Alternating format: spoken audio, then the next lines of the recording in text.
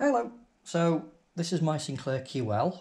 I've dug it out today because I want to do a little bit of preventative maintenance on it and thought, well, maybe that'll be of interest to somebody else. So why not? Thought I'd post a video.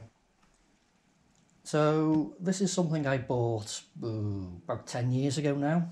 A princely sum of £30. It was advertised as an unknown condition, but it seemed to power up fine. The keyboard didn't work so I had to replace the keyboard membrane, but I believe that's the case with all of these once they get a bit old. And then a couple of months after I bought this, um, I was offered another one. But it was unit only. And the guy said, if you give me 15 quid for it, you can have it. So I, I did. And now I've got two of them. Uh, sadly, I don't use either of them. So I'm not very up to speed on these systems at all. I wouldn't like to say how good or bad they are, I just haven't had any experience using them. But I'm hoping to change that. So we'll dig into the box and I'll show you what I've got that comes with it.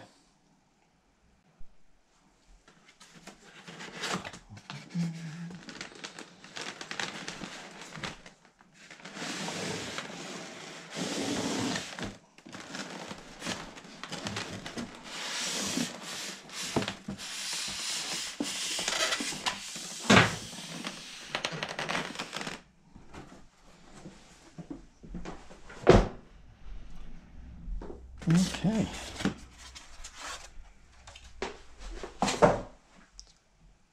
Quite a neatly laid out little box actually. So we've got the unit itself, that's one side. It also comes with three of these little feet, these little stands. And they just fit underneath the QL itself.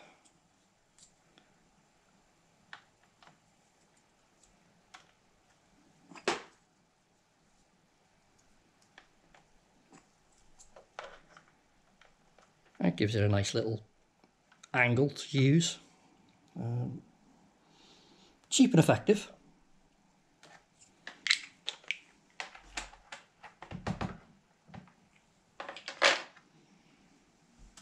With mine it came with some software by Psion. So Archive, Abacus, Easel, and for some reason I've got a second copy of Archive, but that's fine.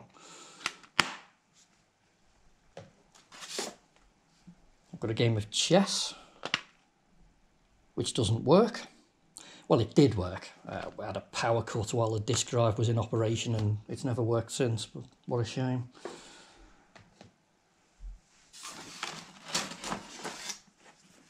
Probably the most comprehensive computer manual I've ever seen.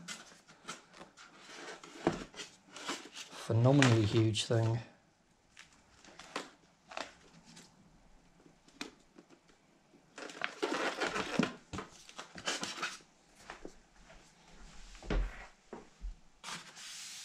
And the power brick. So like I've said, I want to do some preventative maintenance on this machine. For me, that means replacing all the electrolytic capacitors. Now, I know that the Spectrums, that was a particular weak point. I don't know if the QL has the same reliability issues in that area, but I think it's unlikely that Sinclair put in more expensive components on this machine than they did the Spectrum. So plus the fact that it's 30 years old, I think the safest thing to do is just to change them out altogether. So that's what I'm going to do. I'm going to open it up. I'm going to have a look at the values of capacitor I need, get them ordered, and then change them all. So they're not difficult to get into.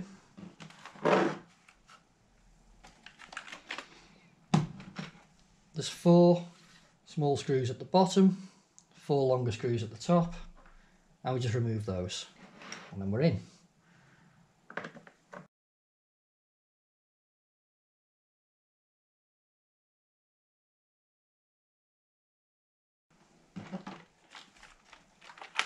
Right, the unit should separate now. There we go. So we've got the ribbon cable for the keyboard membrane.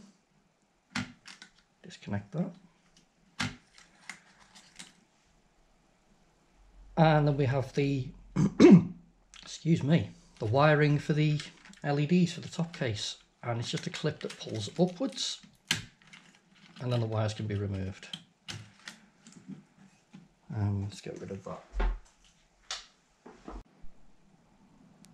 So to remove the main board completely from the case, first of all, we're going to have to take out the micro drives and they're held in underneath. There's two screws at the front.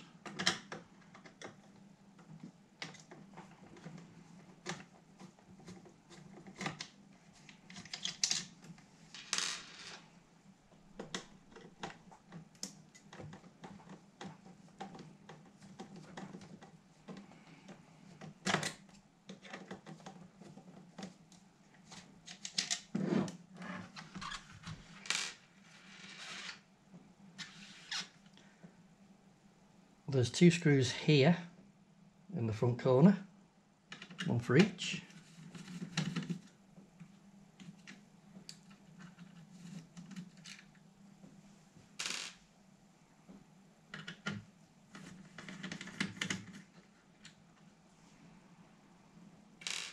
And there's another two screws diagonally opposite at the back.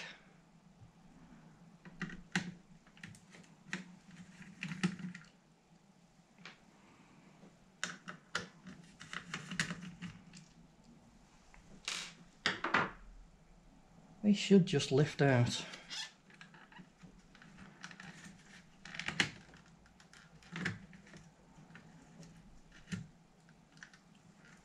Yep.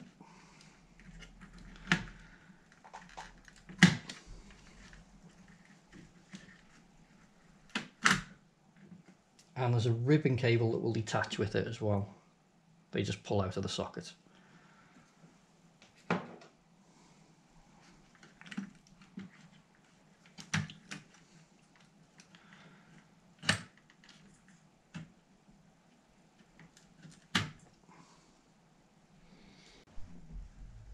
Just to make life a little bit easier for myself, I find it's easier to take this heatsink off now.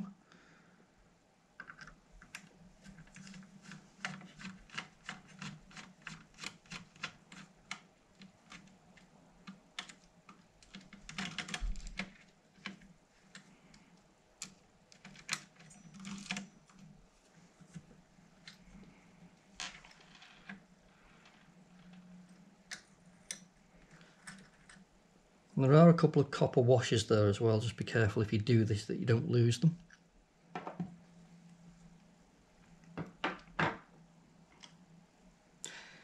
Now the motherboard won't come out until the cover off the reset switch has been removed, just isn't enough clearance. So rather than just pull it, I just gently lever it from behind.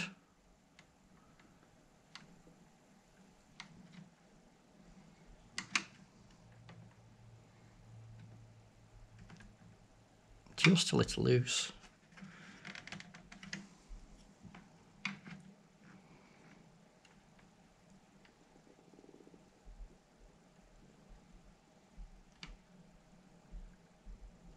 There it goes.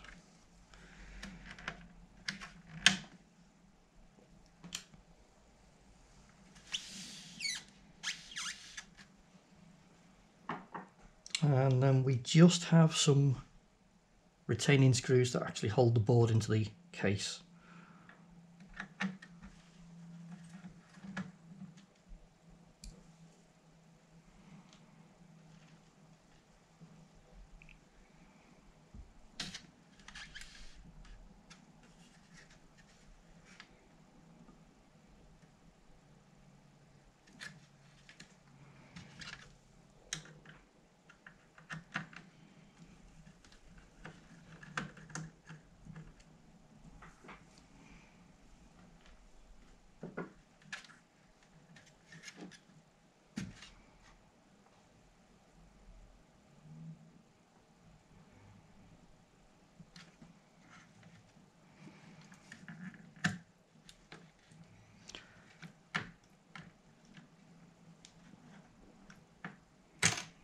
Oh yeah.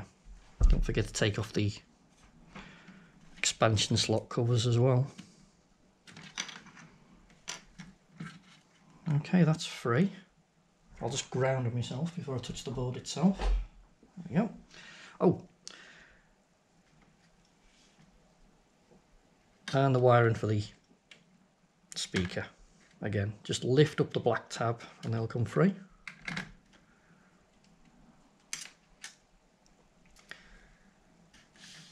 So push the reset button in and lift.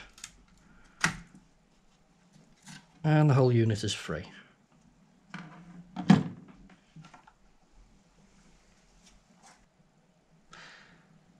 Right, I'm going to make a list of the capacitor values, get them ordered, and as soon as they arrive, I can make a start on the recapping.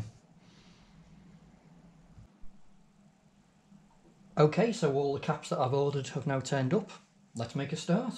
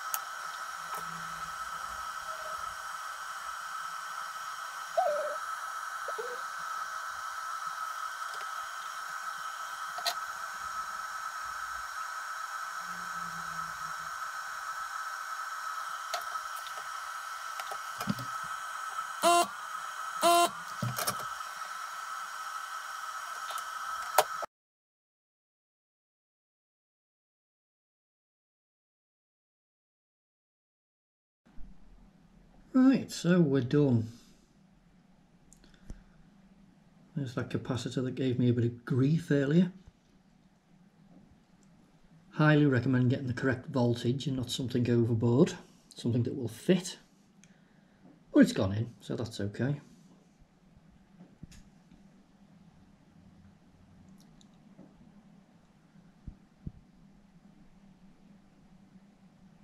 And there's some factory modifications.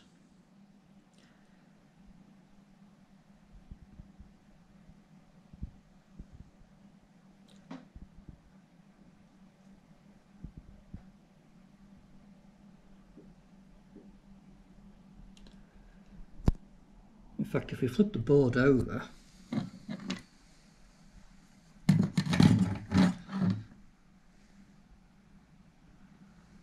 think, oh, there it is. Right, so on the other side of the board we can see more modifications. And this is an issue 5 board, so by this stage they still hadn't got it exactly how they wanted it.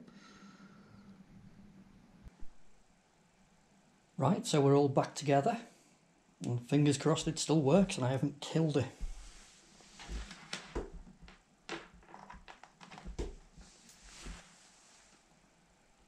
Yes.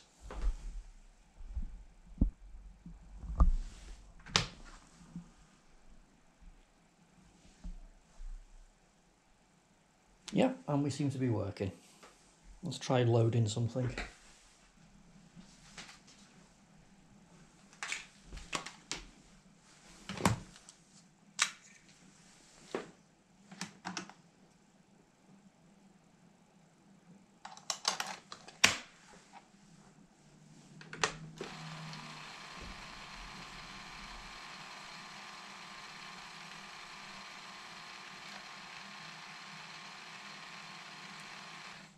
Think at least one of these micro drives works. Oh, there we go.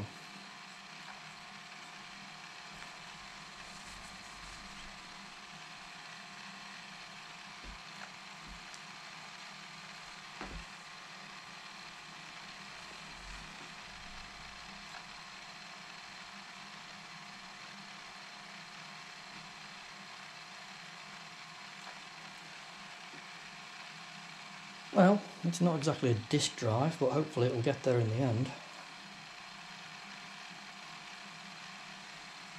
Right, well I'll let that uh, do its thing.